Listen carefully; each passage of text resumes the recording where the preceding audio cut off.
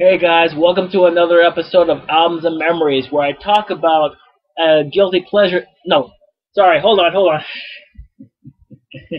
I meant guilty pleasures and memories, not album. Oh my God, sorry. Uh, welcome to another episode of Guilty Pleasures and Memories, where I talk about a guilty pleasure song each day for a 31 day challenge, and I talk about the memories it gave me. Now we're on day 20. I'm going to talk about a Beyonce song, which is called Dangerously in Love. Now, I'm not a huge fan of Beyonce. I wasn't like I was. I'm kind of indifferent to her still.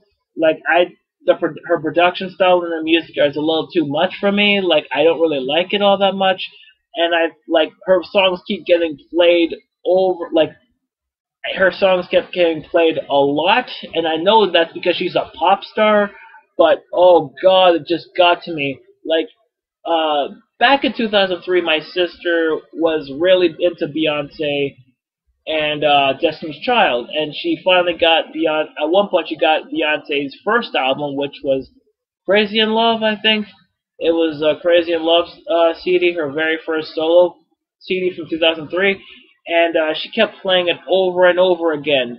And I was like, oh god, I don't want to hear the hit songs anymore.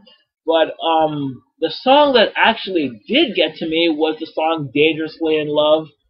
And uh, oh god, because it's so stripped down. Everything else is kind of bombastic and such in a way and it's just so hard hitting, and it just gets got tiring after a couple of songs. And then this song, specifically the song, starts off with a piano, and she it's just her voice, and then the drum machine comes and like, "Baby, I love you, you are my life," and I'm like, yeah. Even back then, I was like, okay, I really like this song. Uh, it's I'm not it's not doing anything for me right now, but I just kind of like the song a little bit.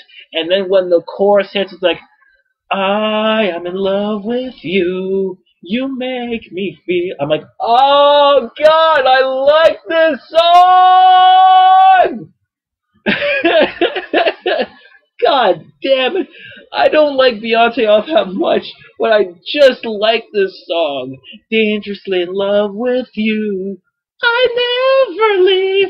Oh God, I just, I don't know what this song does to me uh, like, uh, I don't, like, my sister's like, whatever, you don't like this song, you don't like Beyonce, fine, I'll keep playing, and I'm like, okay, I'm just gonna have to suffer through everything else, and then this song comes, and I'm like, okay, I like this song, I'm just gonna do this, and then she's not gonna see my feet, I'm just gonna tap them, like, and she can't read my mind, because, like,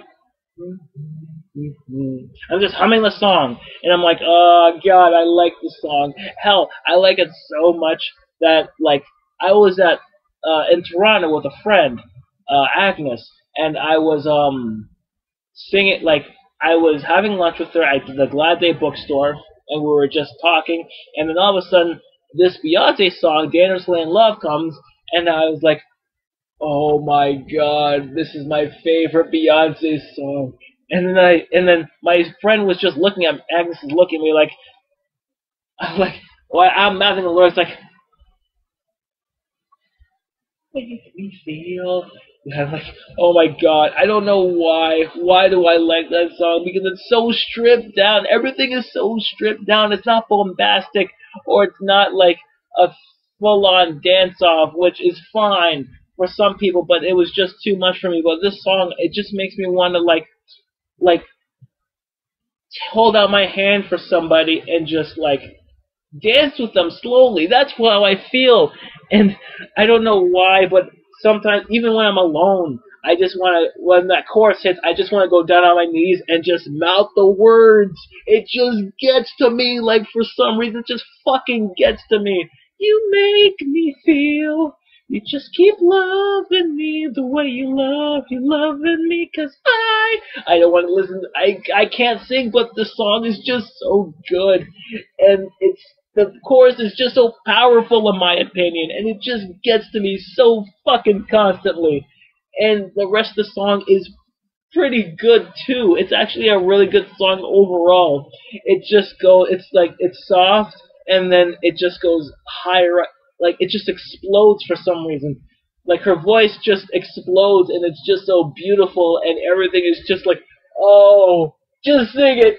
Just just sing. This is one of the few moments where I just want you to go bo- cut. It's not completely bombastic, but take it to a higher level. Just take it to another level and just bring it. Just go for it. That's pretty much me. That's pretty much my opinion. Like, it's a very underrated song, in my opinion. It's very underrated. Like, I can listen to it like any day of the week. Like, it would. I went three straight days just having the song in my fucking head.